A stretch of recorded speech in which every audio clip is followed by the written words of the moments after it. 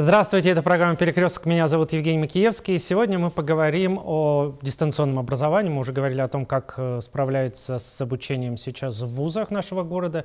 Пришло время колледжи, училища, которые э, работают э, у нас в Череповце. И очень интересная. Мы решили сегодня поднять тему о том, как же все-таки творческие студенты сейчас учатся на дистанционке. Светлана Боброва, директор училища искусств и ремесел имени Верещагина, у нас в гостях. Здравствуйте, Светлана Станиславовна. Здравствуйте. Майские праздники, объявленные с 1 по 11, э, подписано постановление губернатора о каникулах. Вы как, уходите на каникулы? Как вы будете работать вот с, да, с 1 у нас так же, как у всех, выходные дни. Угу. Мы, как и все учреждения культуры, образовательные учреждения России перенесли, э, перешли в дистанционное обучение. Конечно, для нас это было очень сложно, но раздумывать было некогда. Это знаете, как э, э, стретто фуги, когда одно, один голос накладывается на, на другой голос. Действительно, рассуждать было некогда, поэтому мы промониторили, э, как и какие технические возможности есть у наших преподавателей и у наших студентов, и обеспечили все возможное от нас. Конечно, сложностей очень было много, но я думаю, что сейчас мы работаем в полном объеме и выдаем полный материал. Ну, скажите, с одной стороны, есть дистанционное обучение, где теории э, больше. У вас же все-таки больше практики, например, хореография.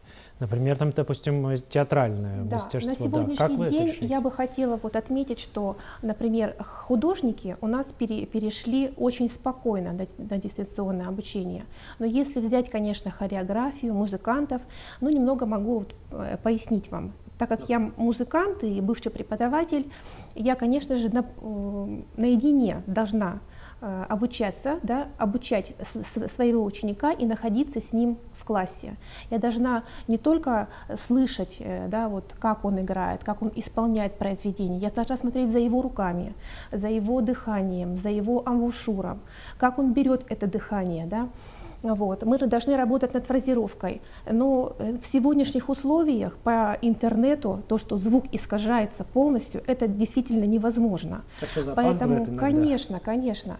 То есть у многих преподавателей и э, срывается интернет, нет связи и так далее. Конечно, все это сложно, но мы э, надеемся, что это мера временная, и действительно скоро наступит конец этому. И мы тоже все ждем да, этого мы, светлого мы будущего. Все, да, мы, мы ждем тоже светлое будущее. Поэтому э, многие преподаватели э, в разных формах работают и дают консультации, и дают вебинары, и проводят онлайн-уроки. Многие ученики делают запись, например, пианисты делают запись и отправляют преподавателю, а преподаватель уже, в свою очередь, слушает эту запись и э, непосредственно э, дает рекомендации, как нужно играть, над чем нужно поработать. То же самое с хореографией. Ну, понятно, что все это очень сложно, но все в таких условиях, как и мы. Поэтому мы приняли решение, что наши преподаватели дают комбинации, которые необходимо выучить те комбинации, э, чтобы ребенок мог это каким-то образом была возможность это э, выполнить в тех условиях, в которых он находится. А это же домашние условия. Особо не развернешься, ведь хореографам нужно поле для деятельности.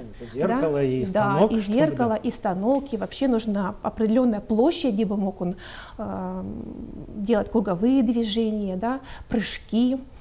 Э, ну, соответственно, такой возможности нет, поэтому, чтобы ребенок у нас э, и студент был в форме, мы даем ему разные упражнения, растяжки, комбинации и э, тщательно следим за выполнением этим, следим за дисциплиной. То есть на сегодняшний день у нас настолько все, как бы, можно сказать, даже жестко, э, что преподаватель следит за своими студентами, за ВПЦК, за э, преподавателями, а мы уже за общей картиной учебного процесса. Вот, кстати, к учебному процессу. Он как-то пострадает, как-то удлинится, сократится, что-то вы перенесете на следующий год. У вас же очевидно, что есть какая-то практика. Что будет с ней? Понятно, что сейчас все меняется каждый день, но тем не менее. Ну, понятно, да, все будет зависеть, конечно, от ситуации. И какие-то дисциплины мы постараемся сейчас зачесть, по итоговой аттестации, а какие-то дисциплины, конечно же, нужно будет перенести по срокам, чтобы можно было выполнить их очно. То есть все-таки изменения в плане будут? Э, в плане изменения, да. да, будут. А практики? У вас есть практика? Да, она... практика есть, но она сама собой, мы попробуем ее как-то организовать в следующем году, угу. затратив есть, больше времени То есть практика, практику. соответственно, да. переносится. Угу. А, но не переносятся выпускные экзамены? Выпускные да. экзамены нет. Не да. пере... что, дум... что Выпускные думали? экзамены мы планируем перенести, если они раньше у нас проходили в начале июня, то сейчас мы переносим выпускные экзамены на конец июня. То есть точные даты пока что у нас неизвестны, но э, варианты проведения выпускных экзаменов у нас есть, и также мы ждем рекомендаций Министерства науки и Министерства культуры, а, методические рекомендации, распоряжения, как это проводить, в каком виде это будет, дистанционно или очно. Ну вот э, могу сказать, что в принципе художники и э, теории, э, теория музыки может спокойно мы можем провести экзамены в онлайн режиме. Угу. Ну а вот хореографы, ну, допустим, как? Ну, хореографы, да. и, например, у нас не только хореографы э, страдают, а также у нас э, по, по, пострадали хоровые коллективы. Ну, да? кстати, про хор я тоже Да, да, то есть... Тут, э, с одной стороны, в Zoom можно собрать весь хор э, в, на электронной площадке, с другой стороны, ведь как-то это и, и не попоешь так, каждый по отдельности. это, конечно, да. это очень сложно. Конечно, мы надеемся, что ситуация изменится, но э, вот сегодня буквально обсуждали обсуждала заведующим хоровым отделением, как это все можно провести. Есть у нас варианты проведения, но все равно надеемся, что проведем очно. Ну, мы тоже все на это надеемся. Еще раз напоминаю, что на светлое будущее. Но... И, конечно же, нужно да. учесть, что эти дети, наши выпускники, они же учились 4-5 лет. Мы их всех знаем. Мы знаем, как, как они занимались, какой у них, эм, какие были у них, какое было отношение к, к учебе. Э, в принципе, мы понимаем, какой уровень выпускника у нас будет. Но э, я хотел э, поговорить о вступительных экзаменах, но вы меня вернули к выпускникам. Угу. А, в связи с этим выпускные а, праздники, какие-то выпускные отчетные концерты, э, что-то будет у вас? Вы думали об этом? И как они будут теперь проходить?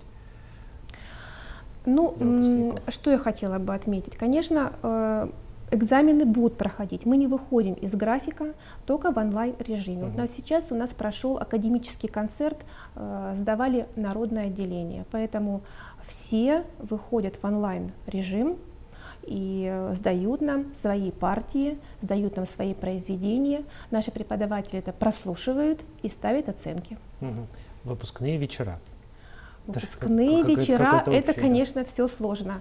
А, но тоже продумываем, так как мы люди творческие, я думаю, что идеи у нас будут. Вот недавно ко мне звонили наши а, выпускники и предлагали провести дискотеку в онлайн режиме, поэтому я думаю, что я сейчас к этому подключусь и мы что-нибудь придумаем. Ну скажите, вообще вот э, в вашем творческом э, училище принято какой-то отчетный концерт, допустим, э, на завершение? Конечно, да? конечно. Вот какие есть традиции? Конечно, у нас и отчетные концерты, отчетные концерты по отделениям идут. Э, каждый год это апрель, май, это все отчетники. Но здесь понятно, что отчетных концертов не будет, и ну, каким-то образом нужно это, наверное, немножко перетерпеть. Угу. То есть э, из традиции. Да, то есть если мы хотим сохранить э, здоровье наших уникальных преподавателей и наших талантливых детей, то есть нужно идти на какие-то меры. Угу.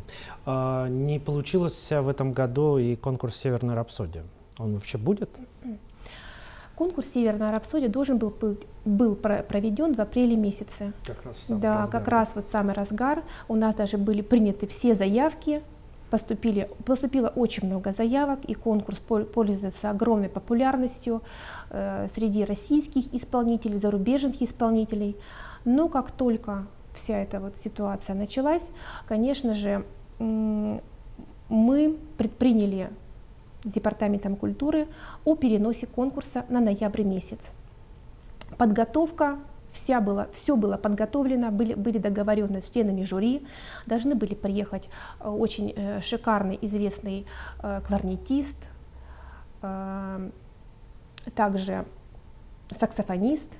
То есть, ну, в принципе, как бы работа шла. Мы, к нам подключились партнеры, нам очень помогла компания Фосагра, она у нас является генеральным партнером, и компания Северсталь, и компания Морсен, и как-то все хорошо так объединились в единую цепочку. То есть со всеми были договоренности, даже поступили на счет финансирования, но при этом конкурс переносим, поэтому э, призы лауреатам будут закуплены, и я думаю, что впереди у нас серьезное мероприятие, самое которое главное, состоится в ноябре. Да, самое главное, не пострадает ли состав участников, потому что вот перенос сроков ведь все равно э, планируют, смогут ли в осенью приехать к нам и а, гости. А, видите, мы все продумали.